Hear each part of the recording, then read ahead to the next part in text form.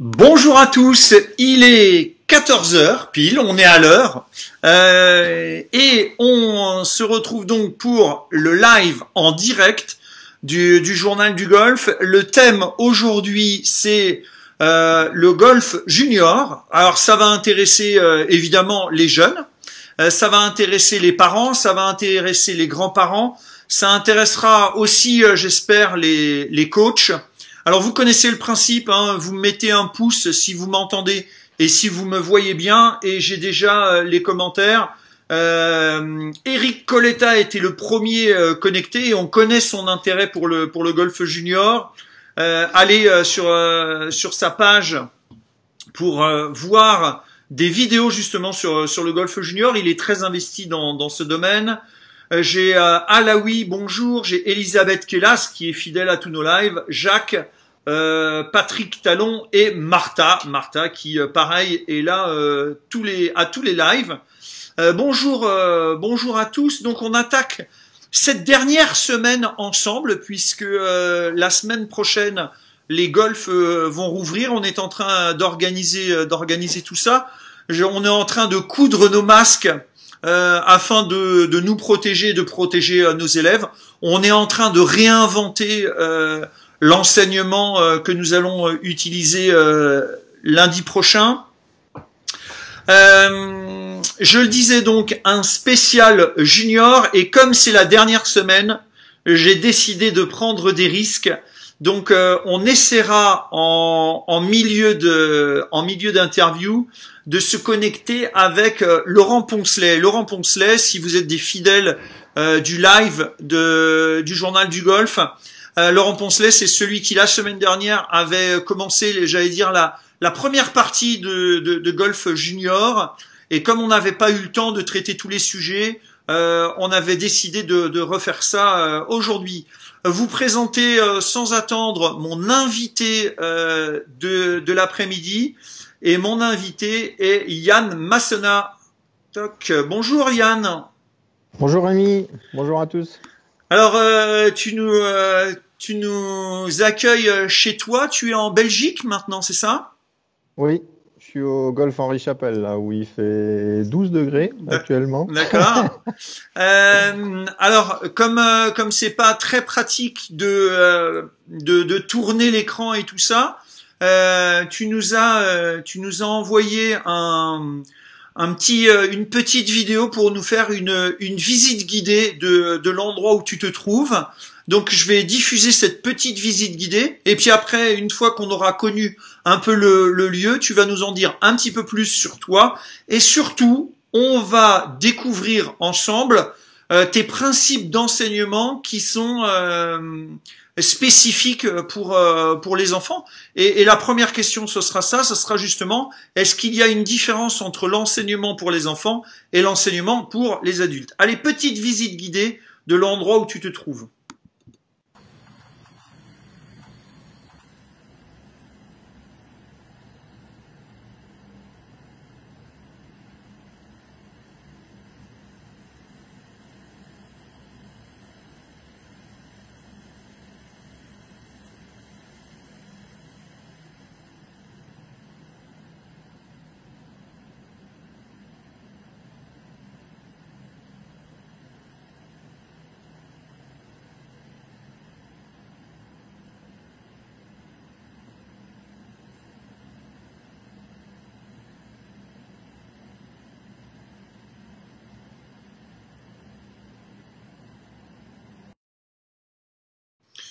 Alors, tout de suite, euh, ce qui interpelle euh, Yann lorsque l'on fait la visite guidée du, lieu où tu enseignes, de ton box d'enseignement, il, y a, plusieurs choses, évidemment, hein, et c'est ce qui va nous permettre de, mieux, euh, mieux te connaître.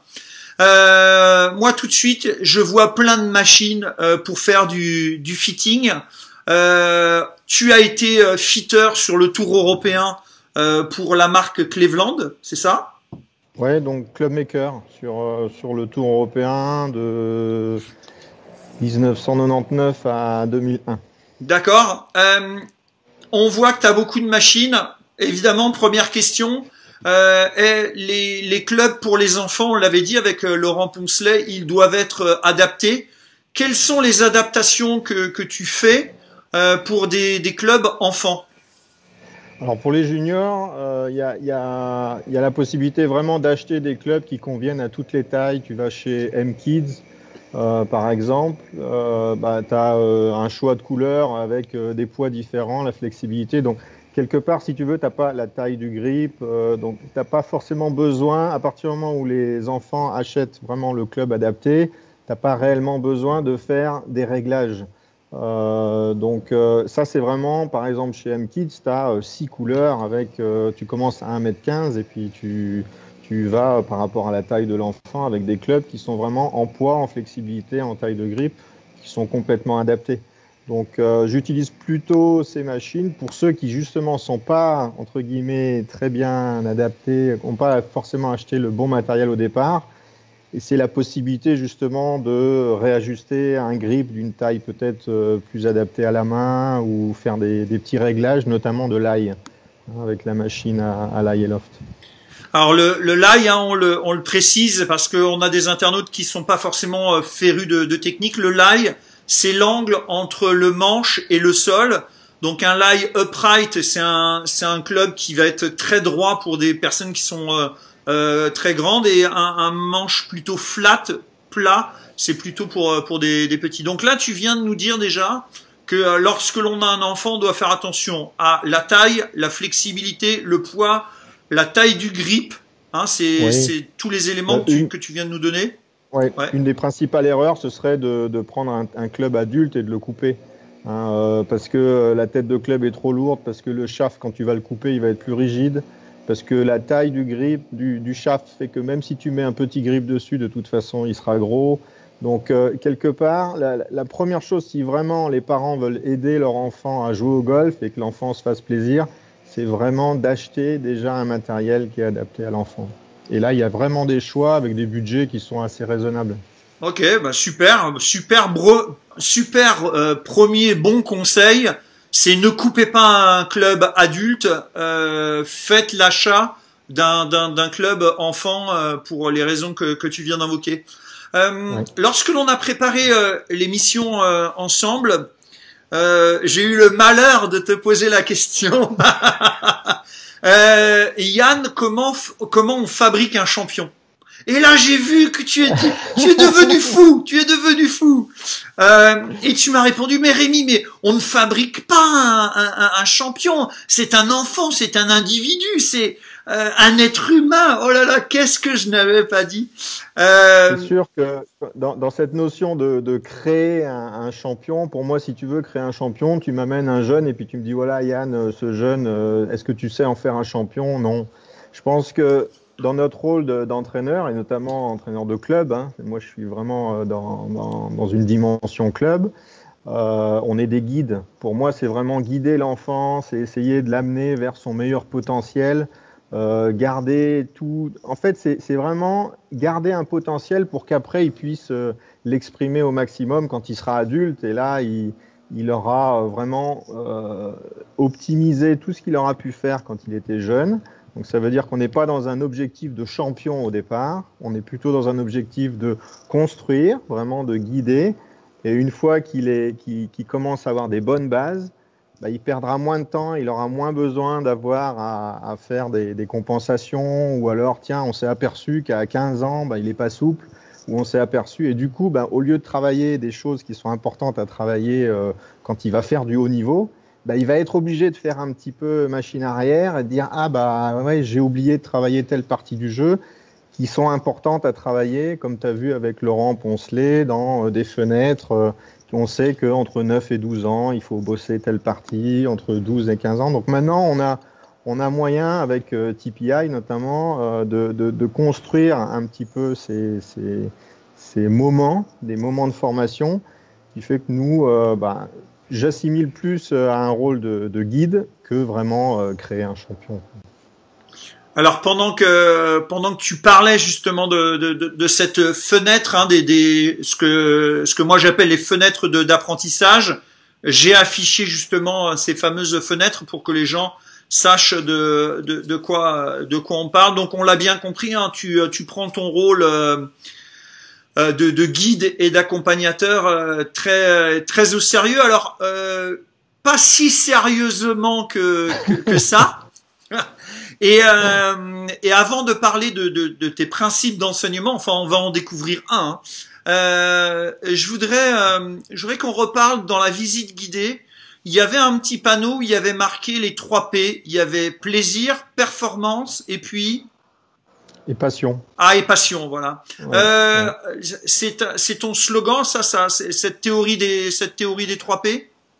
Bah, c'est, je trouve que ça reprend bien. Alors, il y en a plusieurs. Hein. Moi, mon slogan, c'est vraiment euh, parce qu'il y a un meilleur golfeur en vous, à moi de vous le faire découvrir. Voilà, ça, c'est ce que j'ai tout le temps en tête. Et que ce soit des juniors ou des adultes, euh, je pense que le, but, et tu vois, on revient dans cette notion de guide, c'est-à-dire que les gens ne savent pas exactement. Et comme tout le monde est différent, si tu veux, bah, le guide, il doit s'adapter au junior ou à l'adulte. Donc, tu ne saurais pas avoir un chemin commun. Ça, c'est pas possible. Euh, chacun a une morphologie différente, a une histoire différente, a un âge, euh, ce qui fait que bah, dans son histoire, euh, est-ce qu'il est sportif, non sportif, quel est son objectif, etc. Bah, à toi de trouver un chemin qui lui correspond. Quoi. Et, et le but du jeu, c'est de lui faire gagner du temps et de lui faire découvrir que par le chemin que tu lui, tu lui donnes, eh ben, il va se faire plaisir et il va s'amuser. Euh, alors il y a une, une première question puisqu'on a parlé des, des, des fenêtres d'apprentissage. Il y a Jérémy Félinck qui est en pro de, de, de golf euh, qui nous dit il n'y a pas de mental dans les fenêtres de développement chez TPI. Ouais alors euh, enfin je veux dire tout, tout n'est pas dans TPI. Hein. C'est-à-dire que dans l'enseignement, tu vois, moi par exemple, j'utilise beaucoup des exercices de respiration chez les juniors, euh, des exercices de d'étirement, euh, donc, euh, tout, pour moi, si tu veux, le mental, je l'associe beaucoup à la respiration chez les juniors. Donc, euh, notamment pour les 9-12 ans. Donc, effectivement, on pourrait très bien faire le, le, le parallèle en disant, bah, mentalement, qu'est-ce qu'on qu'est-ce qu'on travaille pour des jeunes de, des, des U10, U12, U14, U16, U18 et il y a vraiment moyen de, moyen de faire. Donc, effectivement, on ne sépare pas la technique, le physique et le mental mais on, on, attaque tout dès le départ. Et notamment, moi, j'avais l'occasion de faire des petits exercices avec des, des, des petites bulles euh, pour Alors, travailler on, justement. On va, on va justement euh, répondre à la, à la question de, de, de Jérémy, puisque en fait, euh, toi, tu pars du principe que le mental, dès le plus jeune âge, on, le, on commence à le travailler et on le travaille tout le temps sous des formes différentes mais euh, mais un petit peu euh, un petit peu tout, tout le temps et on n'attend pas que l'enfant soit grand pour euh, pour parler de mental. Alors on, on va montrer euh, cette euh, cette petite vidéo qui va nous montrer qui tu es vraiment.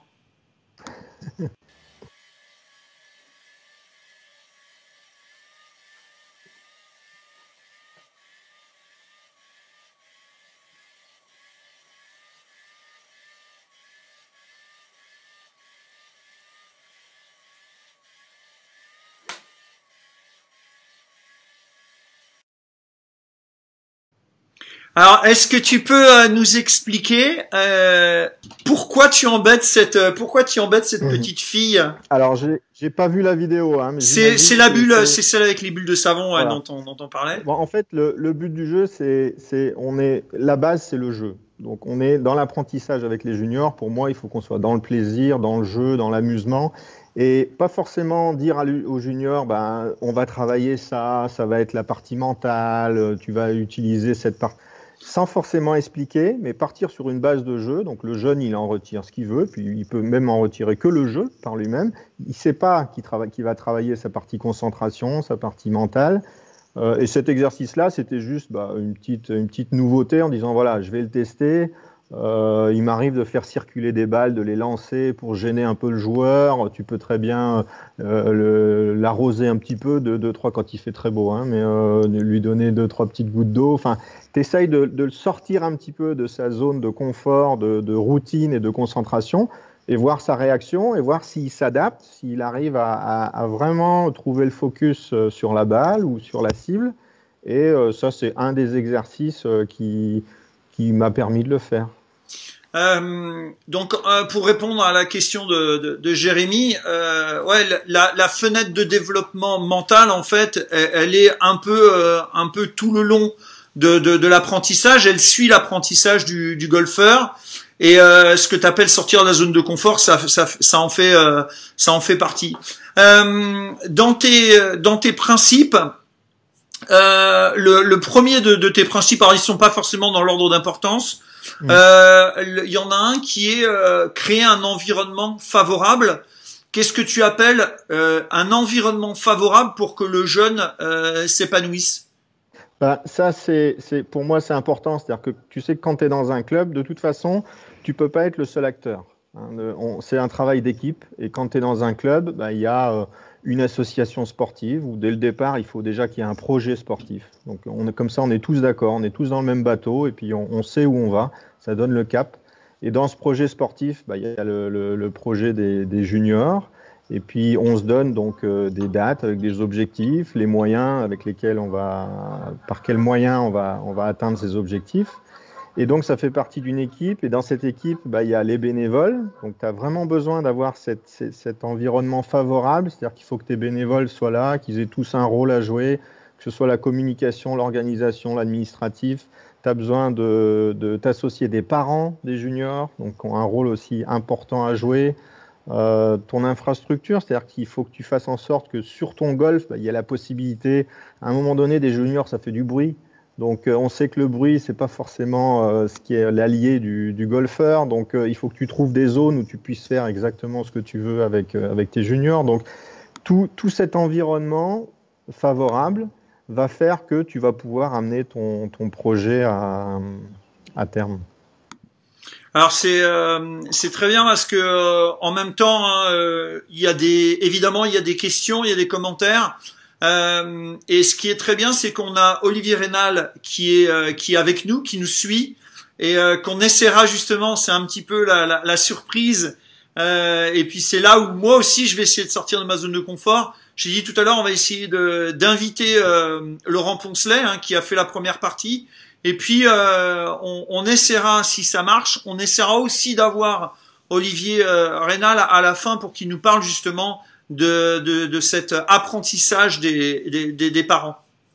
Donc, euh, c'est très bien parce que les pros se répondent entre eux, les, euh, les, les, pros répondent aux questions qui sont posées par, euh, par nos internautes amateurs. C'est tout à fait l'état d'esprit que je veux pour, ce, pour cette émission où euh, on met en lumière un enseignant, donc euh, toi, Yann, mais à la fois c'est un partage, euh, un mmh. échange entre tous les pros et les internautes qui sont parents, grands-parents ou même les jeunes. Vous pouvez poser toutes, toutes les questions. je reviens sur, sur une petite vidéo que je, que je vais montrer où là tu as tu fais jouer une pareil hein, la pauvre petite tu l'as fait jouer avec avec un bandeau sur sur les yeux on regarde et on, en parle après pour savoir un petit peu, mais qu'est-ce qui t'est passé par la tête, Yann?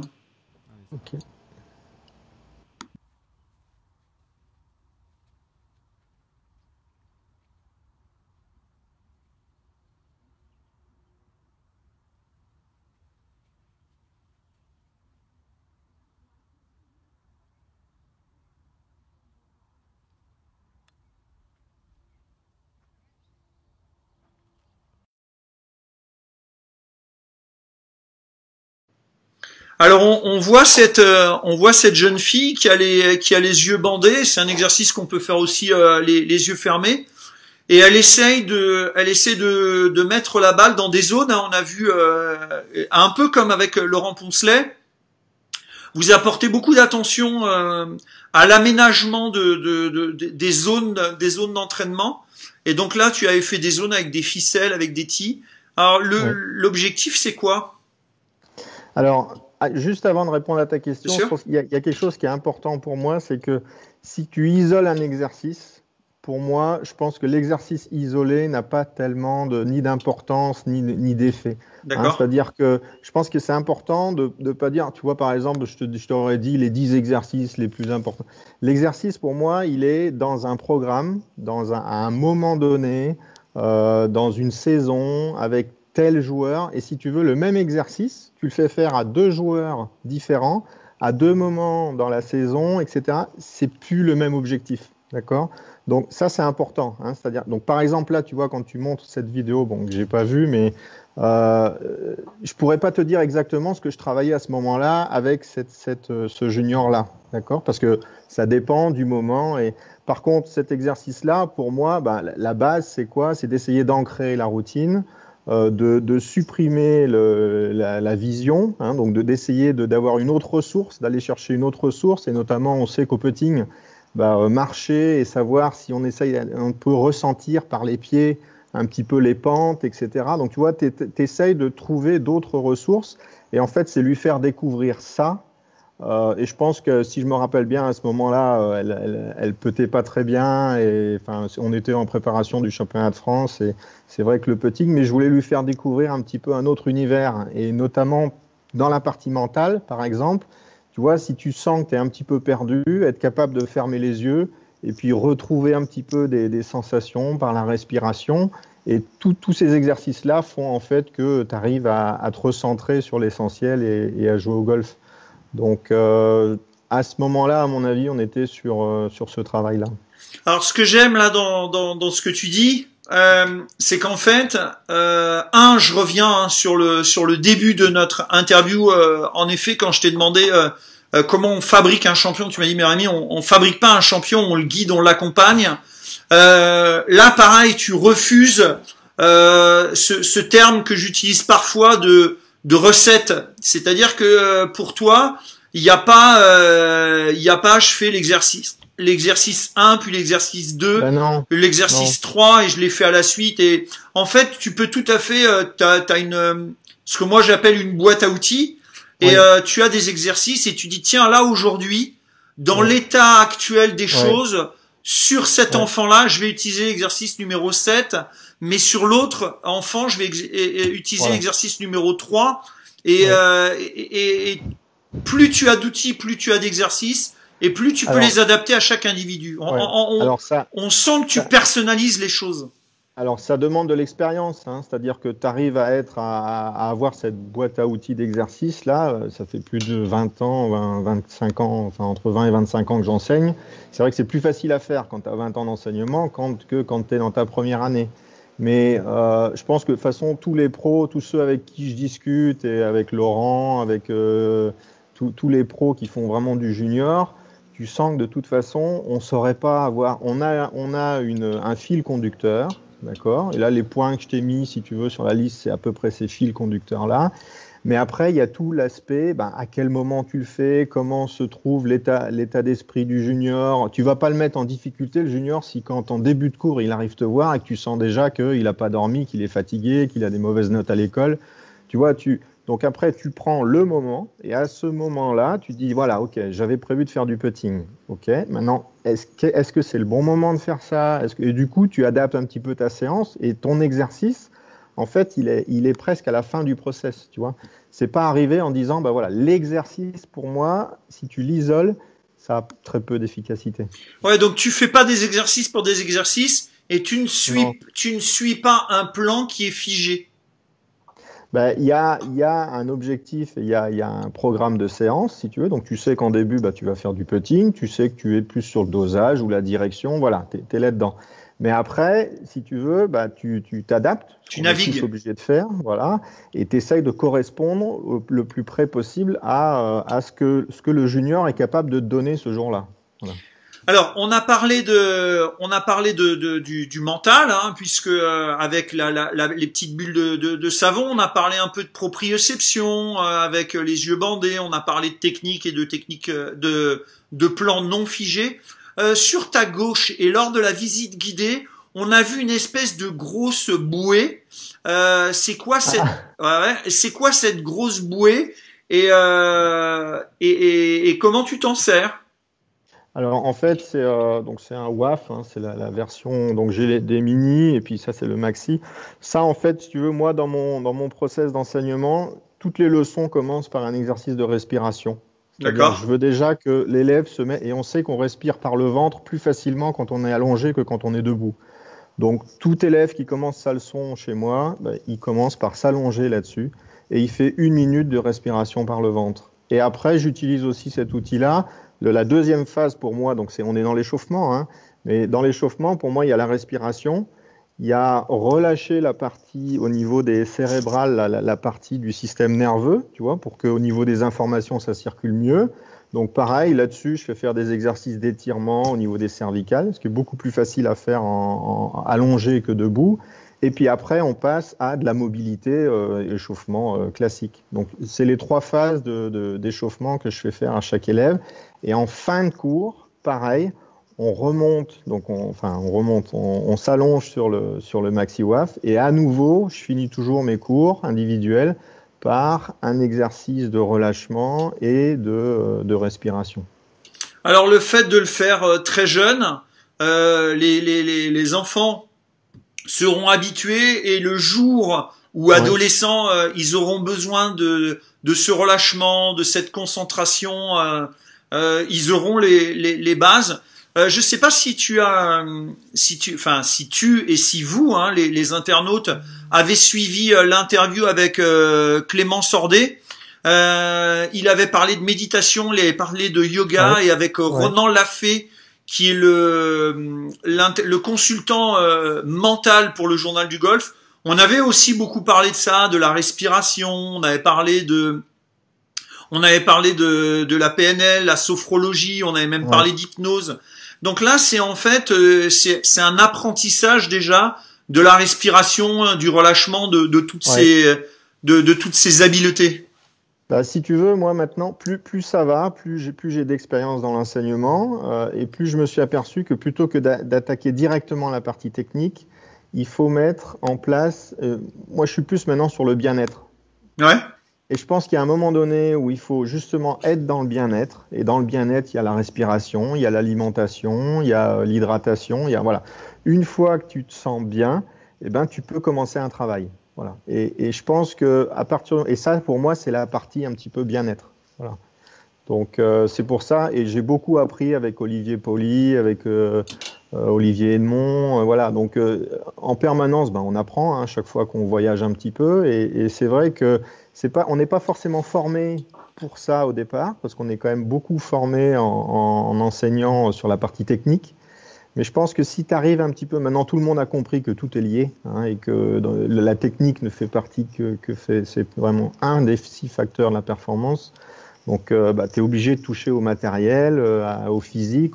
Et dans le physique, si tu veux, moi je laisserai la partie vraiment euh, physique, développement physique à un préparateur physique. Euh, mais je pense qu'en leçon, on peut déjà aborder tout ce qui est respiration, tout ce qui est euh, euh, étirement, pour que en début de cours déjà, la personne se sente vraiment dans, dans, dans un dans, une, une, perception de, de, son corps, en disant voilà, je, je, je, perçois les mouvements, et puis après, tu peux lui demander un travail. Alors justement, je vais montrer, je vais montrer un, une petite vidéo où il y a un enfant euh, qui est en équilibre sur euh, sur un ballon, en équilibre instable sur un ballon. On en parle, on en parle juste après. On trouve l'équilibre. Ouais, super ça. Tu comptes jusqu'à 20.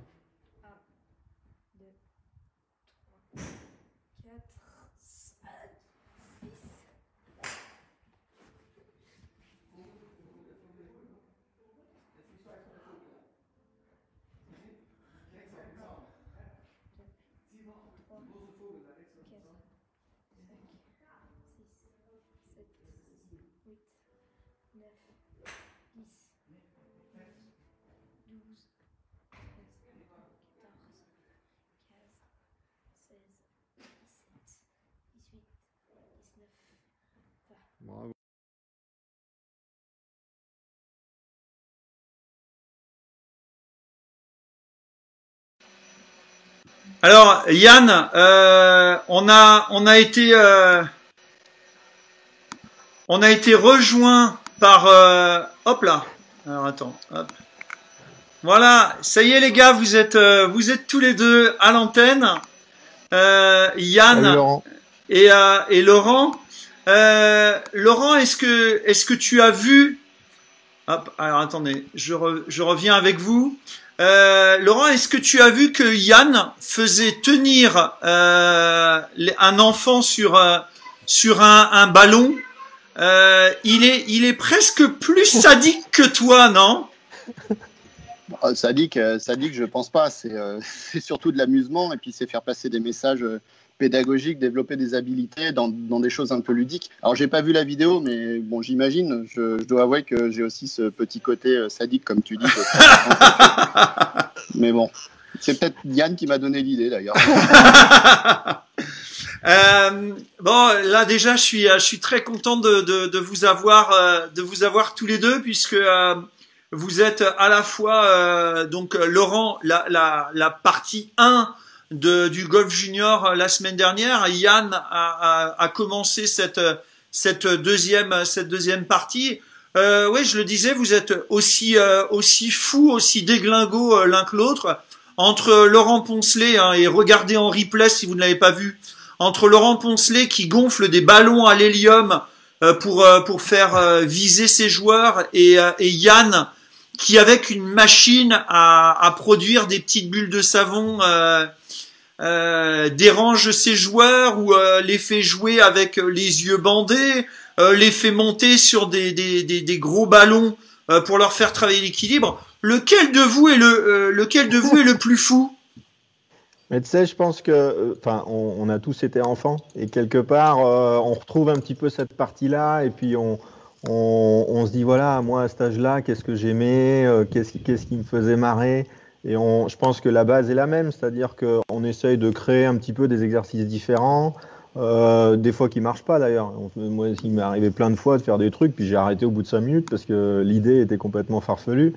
Euh, mais c'est quand tu vois le sourire du gamin et quand tu vois que, bah, alors toujours en essayant de mieux jouer et de, et de progresser, hein, on n'est pas là pour faire du cirque ou, ou euh, des, des, choses qui sortiraient de l'objectif du, du, golf, mais enfin voilà, c'est euh, quand tu vois le, regard de Laurent, tu, tu dis voilà, bah, il, est super. Quand il, quand il parle des juniors, tout de suite, tu as les yeux qui brillent.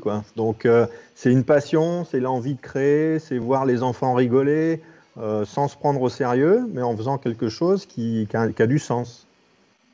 Bah, je, je, suis complètement d'accord avec Yann. Euh, je pense que le, ce qui nous rejoint, enfin, en termes, en, vraiment en, en, matière de coaching, c'est le côté passion.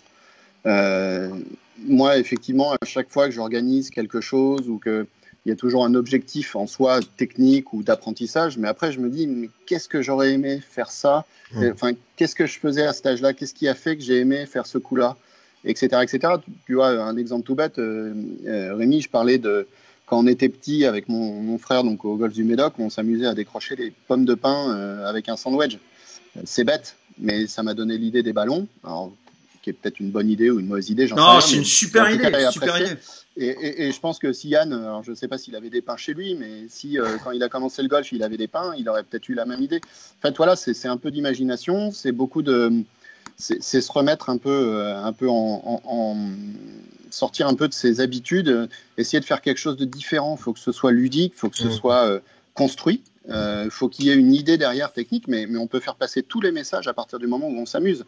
Euh, c'est vraiment, euh, c'est vraiment très très simple. Et d'ailleurs, j'entendais la dernière fois, là, puisque Yann, Olivier, Mathieu Billot, enfin plein de, plein de, Eric Coletta qui a fait un super boulot sur son site, moncoachdegolf.com, là, sur, sur l'amusement des enfants, sur leur faire passer des, messages techniques. Euh, en fait, on, on, se limite pas au golf, on regarde aussi ce qui se fait euh, dans l'éducation nationale, dans, dans, plein de choses. Et, et moi, par exemple, il y a, y a, un truc qui m'a qui m'a interpellé la dernière fois, c'est les, les, certaines entreprises, qui, certains musiciens qui se sont mis à faire réviser les cours de, maths, etc., pour le bac, pour, le, pour les programmes, en faisant du rap. C'est-à-dire qu'ils leur faisaient le programme d'histoire en rappant. Et finalement, les enfants retiennent plus facilement les dates sur des paroles de chansons. Ça m'a interpellé, parce que faisant de la musique, j'étais exactement dans le même cas. Et ça, c'est un truc, je me dis, mais comment est-ce que je pourrais exploiter ce petit, euh, cette petite approche? Alors justement, euh, dans les commentaires, euh, on a Eric Coletta hein, qui est présent depuis le début du live et dont tu viens de parler. Donc tu, tu viens de mettre son, son site à, à l'honneur, en lumière. Et euh, on a aussi Anne-Marie qui justement euh, parle euh, du carnet de, de, golf qui a été distribué pendant la Ryder Cup. C'est exactement ce que tu dis, Laurent. et qui explique à travers le golf des notions de, de sciences, de géographie, de maths et d'anglais. Et elle demande est-ce que ce carnet a été rendu générique et intégré dans les programmes scolaires. Anne-Marie, pour répondre à ta question, en fait, là, à partir du 11 mai, on va remettre on va remettre en action justement ce, petit carnet pour accueillir les, enfants non golfeurs euh, en, extra golf. Euh, pour revenir à un petit euh, un petit exercice que vous avez que vous avez en, commun, je vais vous je vais montrer une petite vidéo que Yann a tournée et qui va rappeler quelque chose à Laurent puisque c'est le, le jeu du le jeu du morpion. Voilà, je passe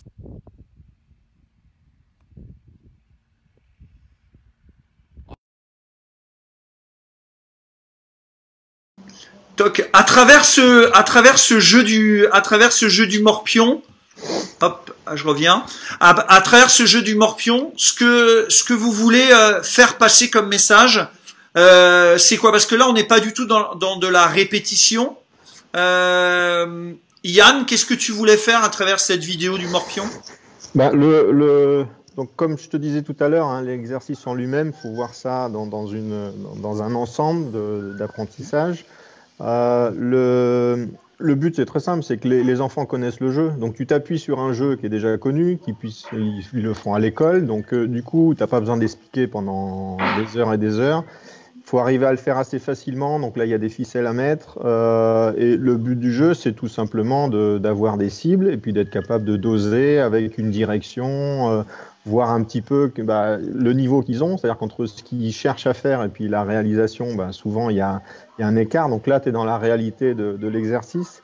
Et je pense que ce qui est important aussi de, de prendre en compte dans tout, tout cet apprentissage de junior, c'est qu'il faut ramener ça à l'échelle aussi du, de l'enseignant qui est là et qui, euh, bah, installer des séances, ça prend du temps.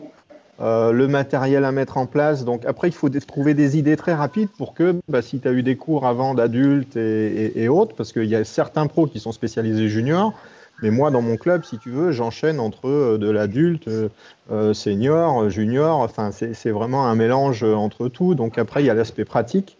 Et, ça, c'est une dimension qu'il faut prendre en compte, je pense, dans l'enseignement des juniors. C'est que bah, c'est quand même, il y, y, a des difficultés pour enseigner aux juniors hein, dans l'installation des séances, dans les exercices. Il y a des contraintes. Euh, ouais. Laurent, justement, toi aussi, hein, qui est un adepte du, de, de, de, ces jeux et de ces mises en place. Ça te demande du temps, euh, ça te demande de, de l'investissement et de l'imagination? Euh, ça vaut le coup? Alors, euh, beaucoup de questions. Ça vaut le coup euh, La réponse, j'ai même pas besoin de la donner. Oui, bien sûr, ça vaut le coup.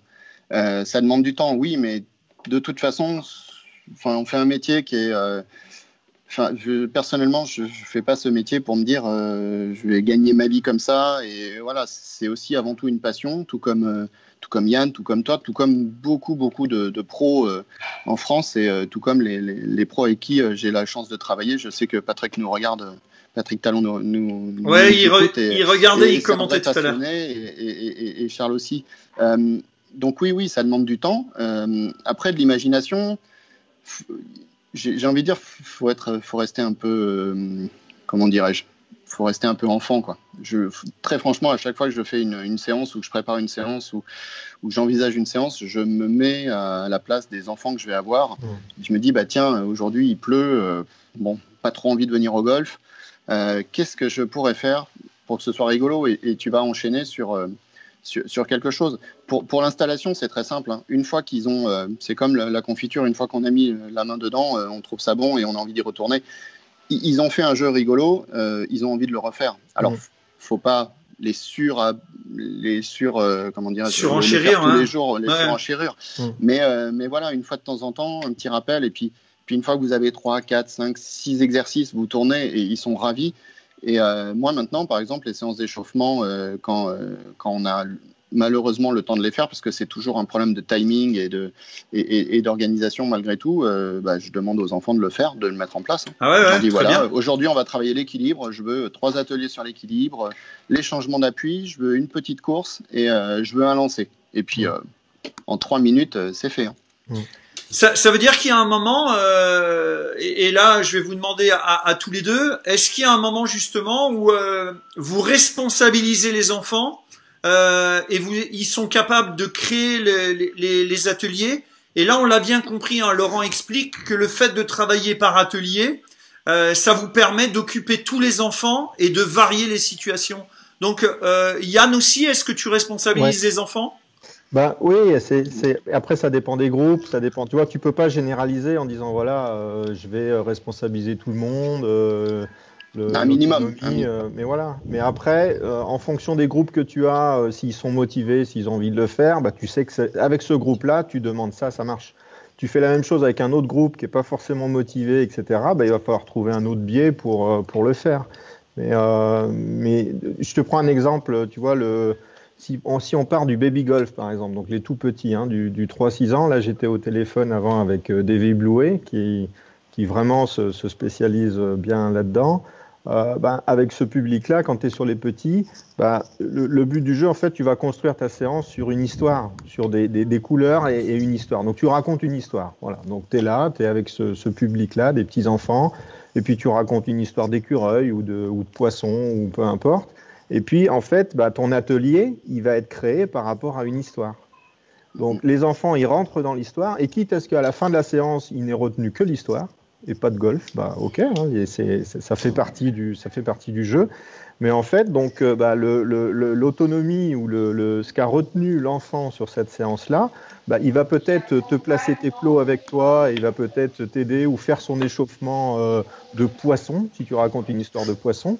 Bah, il va faire des mouvements de poisson, voilà, son, échauffement, euh, il est fait. Donc.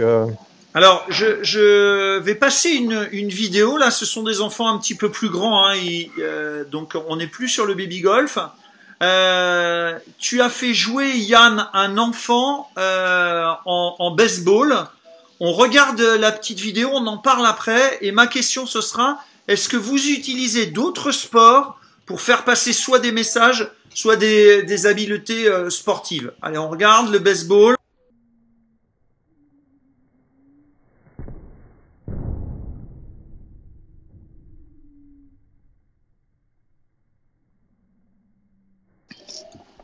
Voilà, donc là on le voit bien, hein, l'enfant, la balle est sur une sur un espèce de tige géant et le gamin avec une espèce de batte de baseball dégomme dégomme la balle.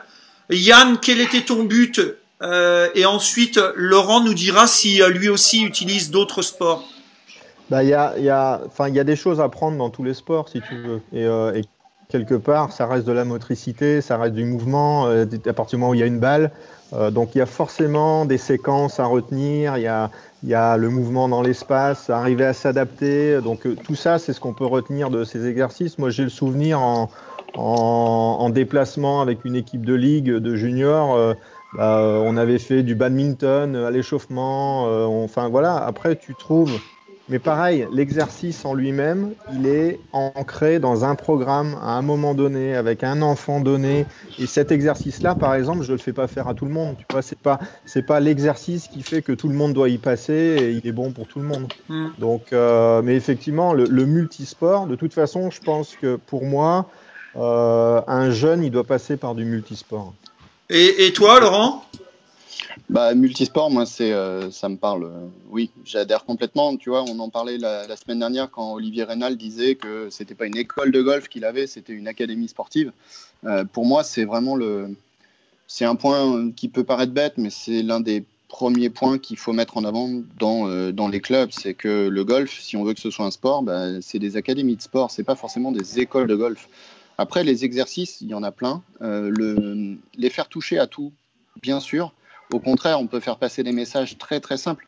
Enfin, qui n'a pas utilisé en tant que prof de golf, hein, je ne parle pas des, parents ou des, grands-parents qui amènent leurs enfants, mais nous, en tant que coach, il y a un moment donné, on a tous plus ou moins euh, donné l'image de lancer un caillou dans l'eau pour faire un ricochet.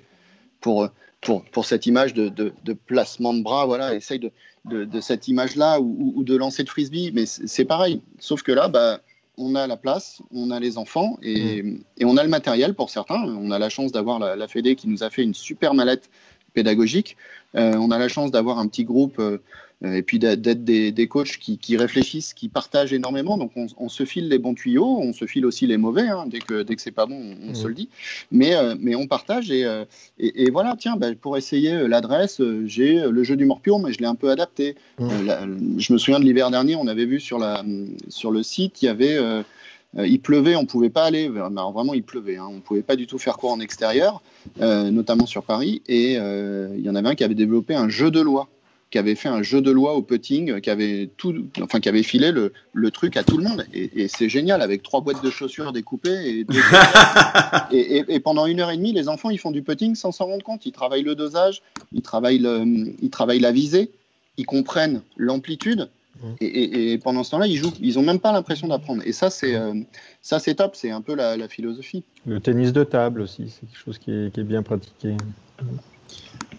Euh, alors justement, le, le, le, TPI dont, le TPI dont on parlait tout à l'heure euh, et les, les, fameuses fenêtres de tir, lui préconise justement qu'on, qu'on, que l'on puisse faire euh, du multisport et qu'on individu, enfin qu'on spécialise le plus tard possible.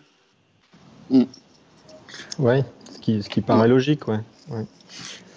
Euh... Alors, je veux, je veux pas m'avancer, mais il y avait une étude, euh, une étude, euh, je crois américaine, qui avait montré une étude sur les athlètes olympiques américains lors de Beijing, enfin à Pékin, je oui Pékin, et qui montrait que finalement, jusqu'à l'âge de 15 ans, les athlètes qui étaient donc sélectionnés olympiques, jusqu'à l'âge de 15 ans, ils pratiquaient entre 6 et 4 sports différents ou, trois, je crois. Ça a démarré, ils étaient quatre sports à 10 ans, ils avaient trois sports à 12 ans, et à partir de 15 ans, ils avaient euh, entre trois et deux sports, et là, ils se spécialisaient.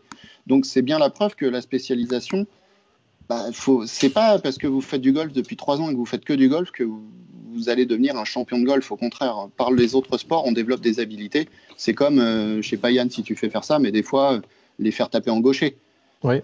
Mm. Les, joueurs un peu confirmés, tu leur files un club de gaucher et allez, on se mm. fait un concours d'approche et tout ça. Mm. Ça peut paraître bête, mais voilà, il y a tout un process de, créativité et d'adaptation que finalement ils vont utiliser, ils vont savoir le faire, et puis après, ça leur sera utile en jouant en droitier. C'est bête, mais on progresse en jouant en gaucher aussi. Après, on arrive à, si tu veux, le burn-out. Euh, il peut y avoir un burn-out chez les juniors, quoi. C'est-à-dire que ça faut faire le, attention. Le, principe, c'est simple, c'est que quand tu commences, tu es, jeune, bah, tu es un peu dans une multi-activité, et puis plus tu vas mieux tu vas jouer, plus tu vas performer, et plus il va falloir faire du golf. Il ne s'agit pas de faire du multi-activité à 18 ans. Par contre, si tu commences à être hyper spécialisé golf en U12 et qu'après il va falloir vraiment mettre l'accent sur le golf petit à petit, tu t'en peux plus, je veux dire, tu, parce qu'après c'est des heures et des heures d'entraînement. Là, il faut vraiment, quand tu commences à être en U16, U18, je veux te dire, là c'est golf, golf, golf.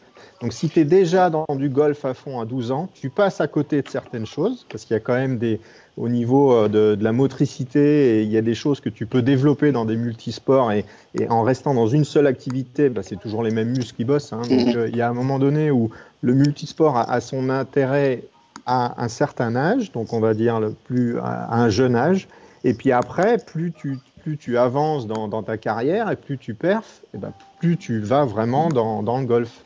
Ah, j'ai une question par rapport à ça euh, pour toi, puisqu'on on on discute à trois, euh, tous, les trois tranquillement. Euh, on en revient un peu au fait que à partir d'un certain moment, c'est quand même le projet de l'enfant, du joueur, et pas forcément le projet du coach ni le projet des, des parents. C'est-à-dire que ça, faut être vigilant. Ouais. Et euh, une autre une autre remarque, euh, alors tu pourras répondre à, euh, à cette à cette interpellation, mais euh, est-ce que dans tes programmes, par exemple, tu arrives à voir la partie, on va dire entre guillemets loisir, c'est pas péjoratif ce que je dis, mais les, les, les, enfants qui vont être plus dans un côté vraiment le fun, c'est bien, je m'amuse, et puis, et puis voilà, et la partie, euh, la partie euh, compétition.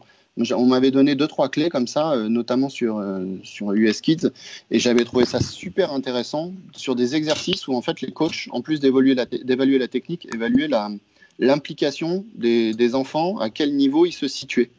Bah, je pense que si on a la possibilité de le faire, ça dépend du nombre d'enfants qu'on a, mais je pense que mmh. quand tu formes tes groupes en début d'année, je pense qu'il faut que l'objectif soit clair. Tu le fais, il y a des groupes loisirs, il y a les groupes compétition. Hein. il y a ceux qui font que la séance et qui viennent que pour cette séance et qui, l'heure d'après leur cours, vont faire euh, de la natation, du multisport, etc. Et puis il y a ceux qui, petit à petit, ben, non seulement ils font en entraînement, mais en plus ils vont taper un petit peu des balles euh, en dehors. Donc là, on sait déjà qu'on est dans une évolution. Oui, on les repère. On les repère. Donc, mm. ça, c'est deux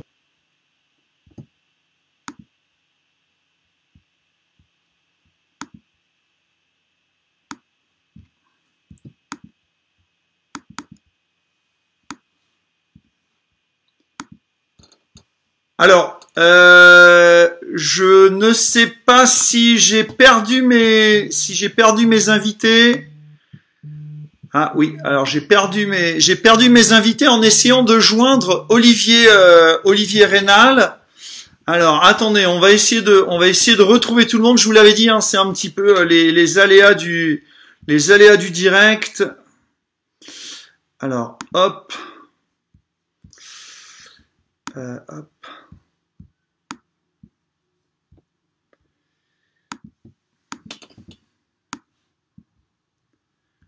Alors, je vais demander à...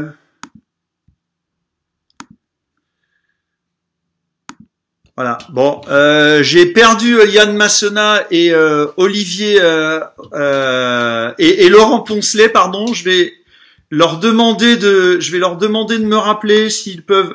Ah voilà, non c'est bon. On n'est pas dans la spécialisation technique parce que je pense que c'est trop vite dans la technique.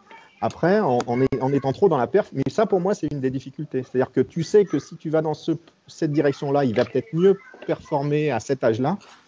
Mais moi je préfère perdre un petit peu de temps et puis tant pis, il sera pas champion de France, il sera, s'il gagne tant mieux, mais il sera dans le top 10 peut-être. Mais l'objectif c'est pas d'être champion de France. Est-ce que notre rôle en tant que coach euh, école de golf, euh, c'est pas justement de de bien préparer le terrain finalement pour à un moment donné, si jamais on passe la main, il y a il y a tout le terreau qui est, qui est prêt pour, pour, faire, pour faire en fonction de ce que veut faire l'enfant et, et de, de, plein d'autres paramètres qui nous dépassent. Hein, mais, mais, en fait, on, on, est là plus pour faciliter l'épanouissement. que ce soit avec nous si on est compétent et qu'on ouais. éprouve le, le, besoin très bien, ou, ou avec quelqu'un d'autre. Et on a tendance à aller voir un petit peu tout de suite celui qui perfe le mieux dans son groupe ou dans les compétitions. Tu vois, par exemple, celui qui a les meilleurs résultats en U12. Alors mm. que si ça se trouve, on est en train de préparer bien mieux quelqu'un qui est à côté, qui n'a pas forcément les mêmes scores en, en, U12, mais qui est en train de se construire et qui, après, avec un petit peu de technique, euh, plus pointu, un peu plus adapté quand il commence à avoir une morphologie adulte, bah, ce jeune-là, à 18 ans, bah, c'est la révélation. Alors que à 12 ans, bah, c'était pas, il faisait pas partie des meilleurs. Oui, parce que peut-être qu'il faisait, il faisait du basket en club ou du tennis ou un autre sport et que finalement il a développé une, une culture de la, de la gagne, euh, de la gagne qui est, qui est différente. C'est un peu ce que, ce que Mathieu Pavon, par exemple, euh, qui est passé un peu sous les radars, a développé. Alors, mais, messieurs, messieurs, j'ai une petite surprise, euh, j'ai une petite surprise pour vous. Euh, on a eu du mal, j'ai eu un petit problème technique, mais ça y est, c'est résolu. Voilà, la, la surprise, c'est qu'en fait, je voulais absolument vous réunir tous les trois. Donc, vous êtes avec Olivier Rénal, qui est là et qui avait pris euh, qui avait pris la parole sur la, la première partie des, des, juniors. Voilà, vous êtes tous les trois réunis à l'écran. Salut Olivier. Salut tout le monde. Ouais, voilà, en plus, en plus on, on l'entend bien. Euh, je vais juste demander aux internautes de me mettre euh, des pouces et de me mettre en commentaire si vous avez bien mes trois invités et, euh, et si vous les entendez, si vous les entendez bien. Euh, waouh, moi je suis euh, super content de vous avoir tous les trois. Je vais vous dire pourquoi. Parce que quand j'ai monté cette, ce projet d'émission sur les juniors, euh, déjà vous avez été les, les, les, trois premiers à me répondre avec un grand oui. Euh, je le disais tout à l'heure euh, à propos de Yann et, et Laurent. qu'ils étaient qu'ils étaient fous. Ma première question donc va aller pour notre notre arrivant. Olivier, est-ce que tu penses que tu es fou? Toi aussi Ou est-ce que tu penses que tu as une âme d'enfant ou euh, est-ce, Et est-ce qu'il faut être fou pour faire du junior? Non. Non, non, euh, je, confirme que je suis sain d'esprit. Euh, je suis pas fou. Je pense qu'il faut pas être fou. Il faut pas être sadique non plus. Euh, je pense que la première des choses, en fait, c'est pas la. faut être passionné. Donc ça, Yann l'a dit. on est nombreux à l'être. Mais en fait, je crois que la première des passions, c'est pas celle du golf, c'est d'abord celle des enfants. C'est-à-dire qu'à partir du moment où on aime les enfants avant tout et participer, faire participer les enfants, bah, à partir de là, on peut tout faire derrière. il faut créer un lien de, de, de, de, bienveillance, il faut avoir ce côté euh, éducateur, entre guillemets, et après, vous y mettez euh, ce que vous voulez. Vous mettez du golf, vous mettez ce que vous voulez. Donc, c'est pas, avant tout, c'est d'abord euh, aimer les enfants, aimer cette tranche d'âge, ces tranches d'âge, et voilà, ça, c'est le plus important avant même, voilà, de, d'aimer le golf. Bon, alors, c'est, génial parce que malgré mon petit problème technique du départ, j'ai plein de pouces, j'ai plein de cœurs, les gars, là, c'est de la folie. Et donc tout le monde me dit, euh, et il y a Diego Dupin qui, qui met euh, que tous les trois, parce que vous êtes tous les trois à l'écran, euh, vous formez une belle brochette. Eric Coletta me dit c'est top. Et il y a Jacques qui est un internaute qui dit c'est bon. Je voulais avoir une petite chose, Rémi. Ouais, bien sûr. Vas-y, Olivier. Je juste rebondir. Je voulais rebondir sur quelque chose. Vous avez parlé tout à l'heure de responsabilisation. Ouais. en fait, ça c'est quelque chose de fondamental. Mm. Euh, en fait, je me suis basé, j'ai découvert il y a quelques années euh, les travaux d'un chercheur en pédagogie euh, qui est à l'université de Sherbrooke au Canada, donc Roland Viau pour, pour le citer, qui avait fait une étude à l'école et qui avait cherché les raisons qui faisaient qu'un enfant s'impliquait dans une activité et déclenchait une espèce de grosse dynamique motivationnelle à apprendre. Et il avait fini son, son étude en synthétisant d'une façon assez simple en disant que pour qu'un enfant s'implique dans quelque chose, il faut qu'il réunisse trois perceptions. La première, c'est la valeur de l'activité, c'est-à-dire ce que j'apprends, est-ce que c'est utile pour moi.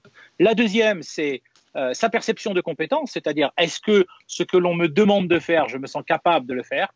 Et la troisième, c'est sa perception de contrôlabilité, c'est-à-dire est-ce qu'il a son mot à dire dans son apprentissage, dans son process d'apprentissage. Et en fait, euh, quand vous réunissez ces trois perceptions chez les enfants, euh, vous avez de l'implication, vous avez de la persévérance, donc vous avez de la réussite. Et si la réussite est une conséquence de ces perceptions de départ, elle les réalimente, etc. Et on a un cercle vertueux. Donc, impliquer les enfants, leur demander si les activités qu'ils font leur plaisent et respecter ce qu'ils disent, c'est-à-dire leur trouver autre chose si ça leur plaît pas, reproduire ce qu'ils aiment, les faire participer, les impliquer, leur faire diriger un échauffement, leur faire mettre en place, comme disait Laurent, des ateliers, euh, si moi je tends la clé du matériel, de la, du local à matériel pour dire qui va me chercher ça, euh, j'ai pas assez de clés. Il y a, y, y a, tous les enfants veulent le faire. Et en fait, c'est ça qui, pour rejoindre ce que disait, j'en finirai là-dessus, euh, Yann, c'est une question d'ambiance. Hmm. Tout est une question essentiellement d'ambiance. Et après, voilà, on peut y mettre plein de choses dedans. Donc, si les enfants sont bien euh, à l'école, euh, ça se passe bien. Si ça se passe bien au centre aéré, si ça se passe bien au club de golf, et on a ces devoirs-là. Euh, Laurent et, Yann, lorsque Olivier a dit qu'il n'était pas fou, je vous ai vu faire la grimace. non. non, non, du tout, du tout, du tout. Si, alors, si. sur un point. Vas-y, vas-y, vas-y. Non, vas-y, vas-y. Non, sur un point. Dirons-nous, si on considère que le fait de passer des, euh, des heures et des journées. Voilà, j'exagère à peine en disant des heures, des journées, des nuits entières et là, je vais sortir un petit film de 3 minutes que j'ai mis 25 euh, heures à monter euh, suite à le golf, le coronavirus, à destination des gamins, mais je pense que les adultes seront jaloux. Euh, oui, si c'est ça, euh, oui, c'est ça être fou. Mais en fait, c'est pas fou, c'est juste passionné. C'est passionné. C'est juste passionné. C'est, je crois qu'on attribuait cette phrase à Confucius qui disait Trouve-toi un métier qui te plaît et tu n'auras jamais l'impression de, de, de, travailler toute ta vie. Donc voilà, donc si c'est ah ça bah, être fou, d'accord, je suis fou. ça, fait, des années que tu travailles plus euh, d'ailleurs. euh... non mais c'est super d'avoir Olivier parce que bon il est, il est très euh, très modeste mais c'est quand même euh, pour tous l'un des une, une, grosse grosse référence et là je parle juste en matière de référence. Hein. Tu disais qu'on avait un, un invité un, un, invité de poids. non non c'est Olivier, euh, franchement, en matière de développement chez les juniors. Ici, avec le confinement, je confirme. Je suis un non, du tout. Tu fais du sport. Tu fais du sport. Euh, non, non, mais j'ai la chance de connaître Olivier depuis quelques années. Euh, c'est quelqu'un, on l'appelle, on a tout de suite une, une écoute, une réponse, euh, un conseil. Dans, ma, dans mes débuts en, matière de, coaching et d'encadrant pour les, pour les enfants, il m'a beaucoup, beaucoup, beaucoup apporté par des, par des lectures notamment. Je me souviens d'un livre que je conseille et que tu pourras peut-être conseiller d'ailleurs, c'est Parler pour que les enfants écoutent et écouter pour que les, les enfants parlent. Ah, génial. que ça déjà, ne serait-ce que ça déjà, c'est euh, euh, c'est une bible, voilà. Et puis tu, tu parlais des travaux. Euh, des travaux que tu, as pu lire à droite à gauche, on échange beaucoup et, c'est comme ça que c'est comme ça qu'on avance. Et c'est pas pour nous personnellement. Alors oui, bien sûr, on est des passionnés, ça, nous aide, mais mais pour encadrer, pour euh, mettre en place nos séances, finalement, au fur et à mesure, on s'aperçoit que voilà, on fait des erreurs, on les partage, on fait des, choses bien, on les partage. Yann a des super séances, Olivier a des super séances, et euh, c'est vraiment une chance de, pouvoir échanger avec eux. Mais, mais les, les, les, euh, excuse-moi, mais les, les, je dirais que tout ce que l'on fait aujourd'hui, en tout cas en ce qui me concerne, je n'engage que moi, mm. c'est le résultat d'inspiration, c'est le résultat de consultation, c'est le résultat d'échanges. Donc, ça n'est pas uniquement, euh, voilà, euh, quand tu m'appelles Laurent pour, euh, je te donne un conseil, enfin je te donne un conseil, mais à ce moment-là, il me fait aussi réfléchir à un certain nombre de choses. Mais moi aussi, j'en ai demandé. Donc, je crois que à chaque fois, déjà la France a beaucoup évolué. Rémi, je sais pas toi qui as peut-être un regard un petit peu plus large sur les choses, mais la France a beaucoup évolué dans les quelques dernières années. Alors, je, je pense qu'on le doit essentiellement au développement des réseaux sociaux. C'est qu'à une époque, nous fûmes assez, comment dirais-je euh, très conservateur, très protectionniste. Tout ce que l'on trouvait, on se le gardait pour soi, euh, etc. Et aujourd'hui, on est dans l'échange.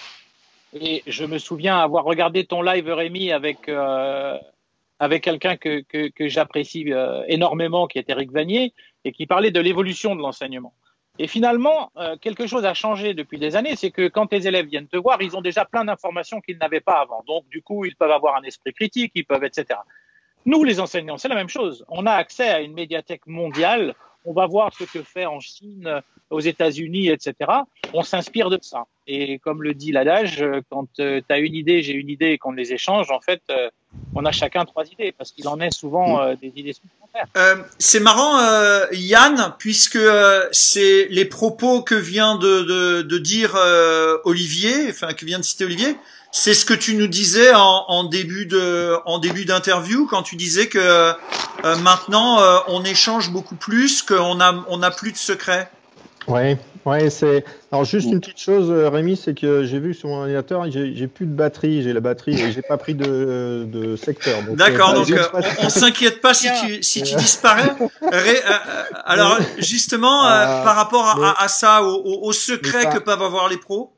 Ouais, mais je pense que si tu veux, au début, c'est peut-être la peur euh, qu'on avait en disant voilà, euh, je vais, je vais garder ça pour moi. Euh, mais maintenant, c'est plus possible de fonctionner comme ça. Et en plus, si tu veux tenir dans la durée, c'est-à-dire que si tu veux enseigner pendant 20 ans, 25 ans, te faire plaisir, bah, il y a un moment donné où il faut que tu échanges. Et puis la validation aussi et l'expérience de l'autre en disant bah voilà, si Olivier me dit tiens Yann, ça, ce que tu fais je l'ai déjà fait, fais gaffe, euh, ça, ça donne ça, ou tu vois. Donc du coup, tu gagnes du temps, et parce qu'on est un petit peu dans l'expérience. Donc euh, l'échange entre les pros te permet aussi de valider, de dire ça, d'adapter ta séance. De...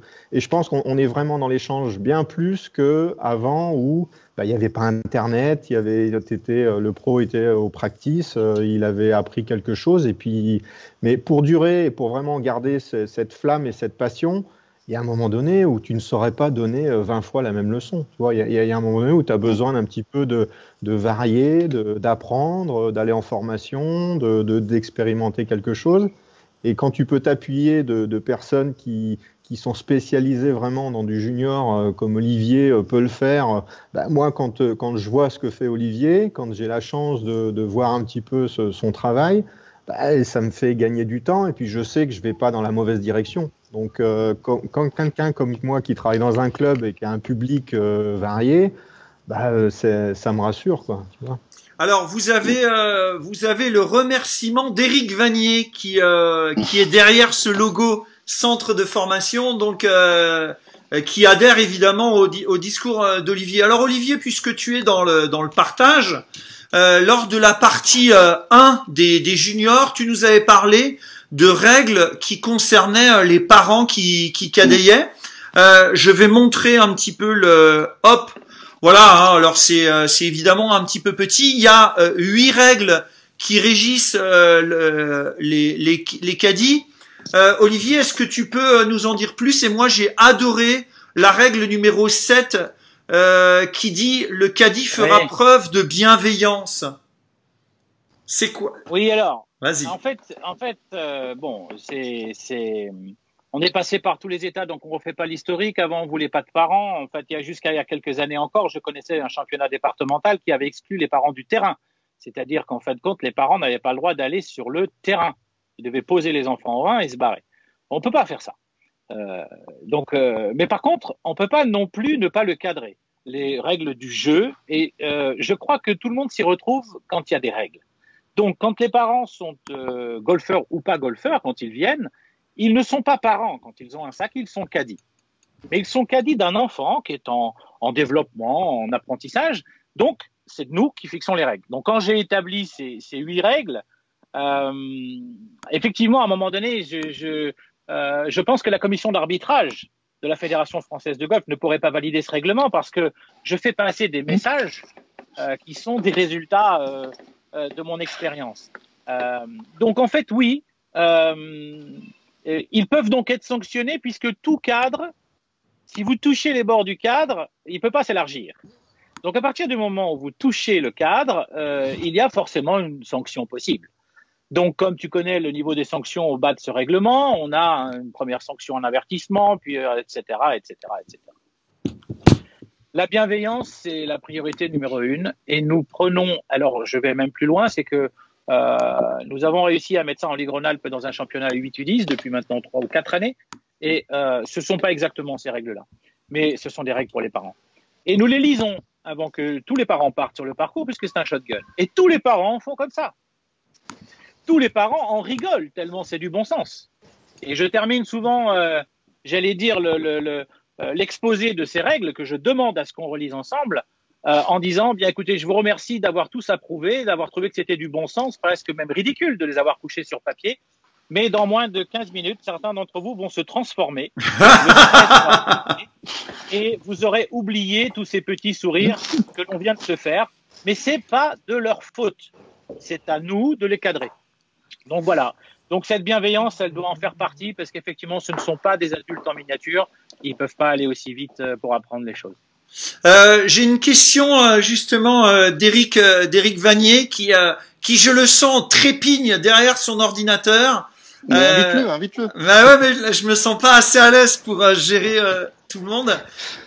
il dit est-ce que le partage des vidéos entre pros est-il toujours en cours? Puisque vous aviez créé un, une page sur Facebook où euh, chacun pouvait aller mettre des, vidéos et c'était un, lieu de, partage.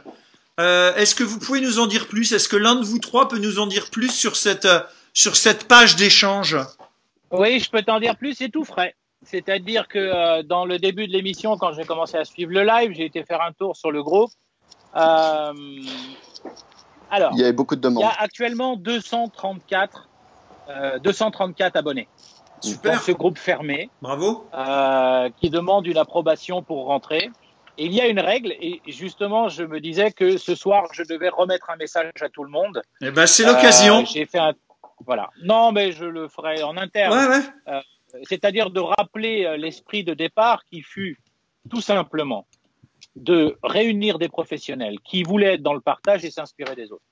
Donc chacun avait pour euh, obligation dans ce groupe, mais bon, il n'était pas possible pour nous d'en faire le contrôle. Euh, c'était trop, trop, trop compliqué. Euh, le fait que ce soit en, scroll-up comme ça, c'est pas, pas intéressant. Il faudrait par contre faire évoluer ça sur la forme d'un site internet, que chaque professionnel membre de s'engage à publier une petite vidéo, un drill, même s'il a déjà été vu, etc., que lui-même a fait Hein, c'est pas pour aller piocher des choses sur Internet, c'est que lui-même a fait, donc ça demande une application, euh, et le poster une fois par mois.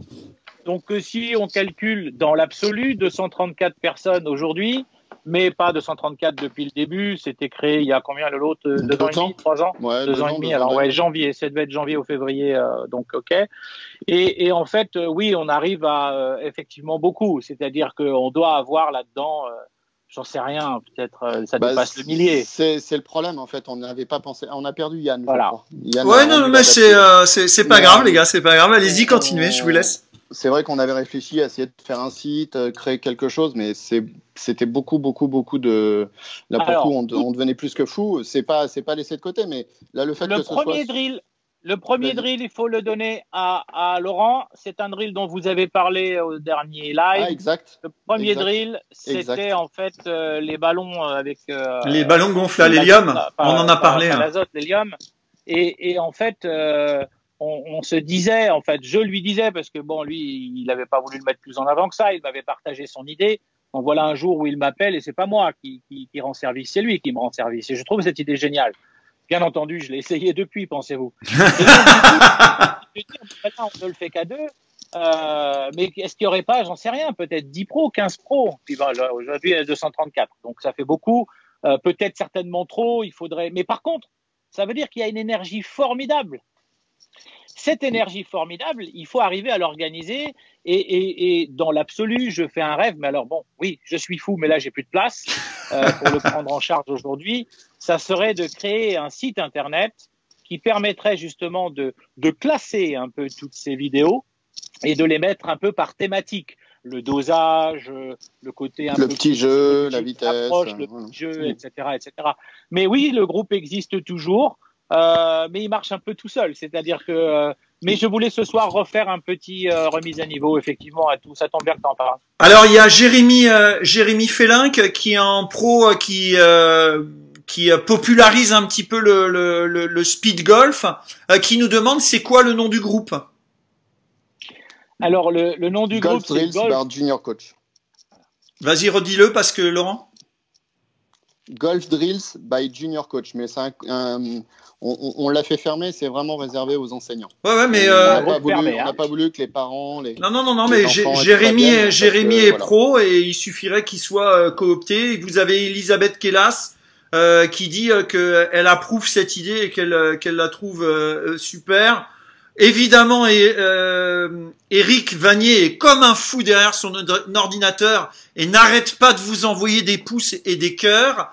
Euh, malheureusement, les gars, il va falloir qu'on se quitte puisque c'est la, fin de, l'émission. Euh, c'est la coutume. Je vais vous laisser le, mot de la fin. Hop, je vais juste euh, revenir pour saluer mes, mes, internautes. Euh, hop, donc, euh, je le répète, ne vous inquiétez pas si vous ne me voyez plus. Je vais laisser le mot de la fin donc à mes, à mes deux invités. Et nous, on se retrouve demain à 11h pour euh, une séance de potting. Euh, mercredi, on aura un invité, alors qui lui est complètement fou, mais fou de golf, fou d'histoire, puisque j'inviterai François Berthet. Et euh, vendredi, on aura les nouvelles technologies avec FlyScope. Ne, ratez pas mercredi François Berthet. Là, vous allez voir aussi un, passionné de, de golf. Messieurs, lui, il est fou. Messieurs, je, vous laisse le, mot de la fin. Euh, celui qui veut commence. Vas-y. Euh, bah déjà, euh, bon, c'est dommage que Yann nous ait quittés. En tout cas, j'ai écouté avec attention toute son intervention. Et, voilà, pour ceux qui sont en Belgique, vous avez la chance d'avoir un pro comme beaucoup passionné, tout comme Olivier. C'est un plaisir d'échanger avec eux en permanence moi, le, message à la rigueur que j'aimerais faire passer, là, on a beaucoup parlé des coachs, de nos compétences, de, ce qu'on a fait. Voilà. Le, plus important, c'est comme le disait euh, Olivier, et je pense que tu seras d'accord, c'est qu'on on est coach, certes, mais on a des assistants coachs dans toutes les écoles de golf qui sont les parents.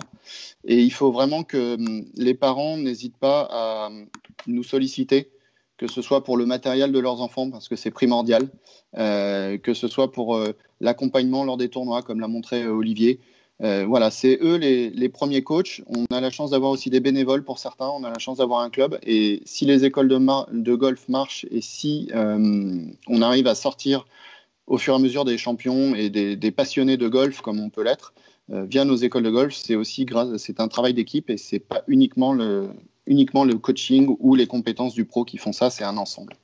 Euh, Patrick Talon, je réponds à ta question. Euh, François Berthet, ce sera à 17h. Euh, merci, euh, merci le, Laurent. Le mot de la, le mot de la fin pour euh, Olivier?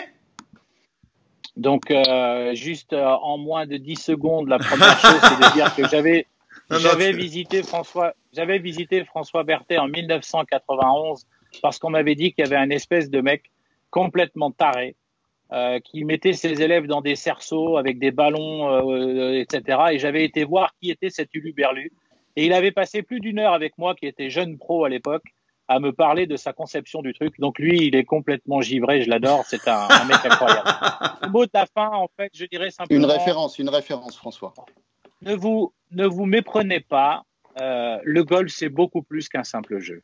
Il y a beaucoup plus de choses derrière ce jeu, mm. et c'est ça qui est formidable. Merci. Ouais, merci beaucoup. Allez, à bientôt. À bientôt.